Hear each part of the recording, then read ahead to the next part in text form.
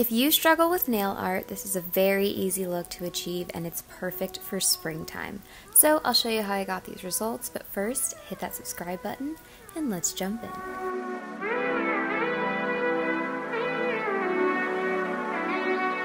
Since I'm growing out my nails, I'm going to do a gel overlay instead of a regular base coat. A gel overlay is essentially using builder gel to add strength under my manicure. To start, I go in with the ASP Clear Builder Gel and do a thin layer and let that cure for 60 seconds. And as always, I'll link everything I'm using in the description.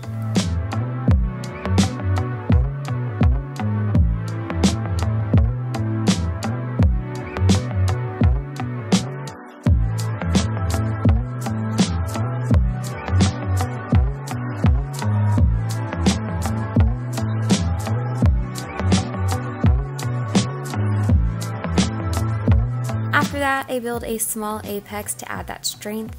I add a little bead to wherever I want the apex and then I push some back to the cuticle and bring it up by moving it side to side in this circular motion.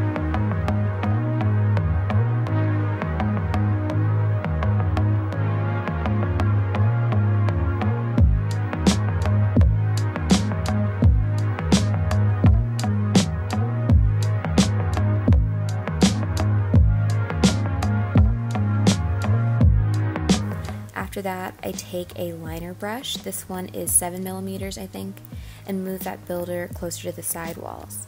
And I didn't get this, but I flip my hand upside down to let gravity help with the apex before I cure for 60 seconds.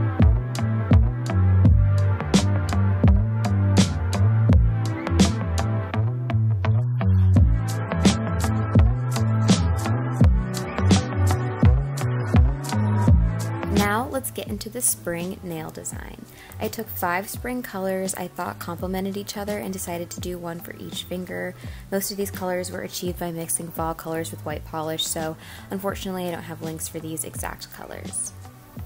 First, I take that 7mm brush and draw a straight French tip and then fill that in.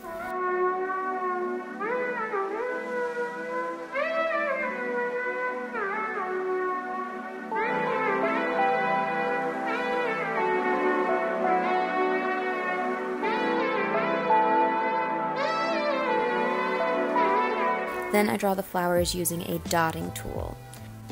Make sure to dip the dotting tool into your polish for each petal so you have an even flower.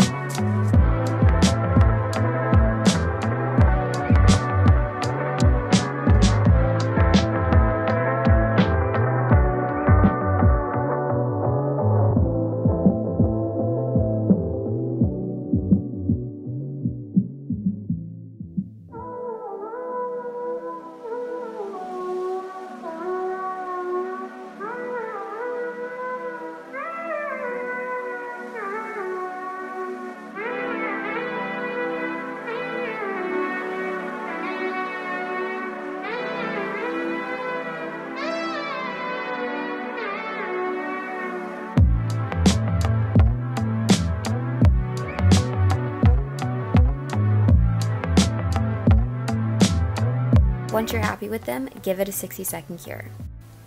And now it's time to top coat.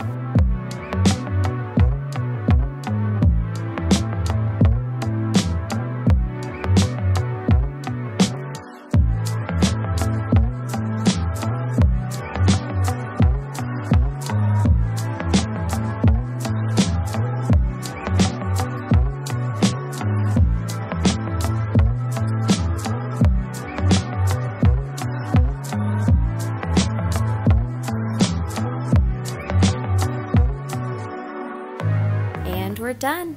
See, we have an easy, quick gel springtime manicure.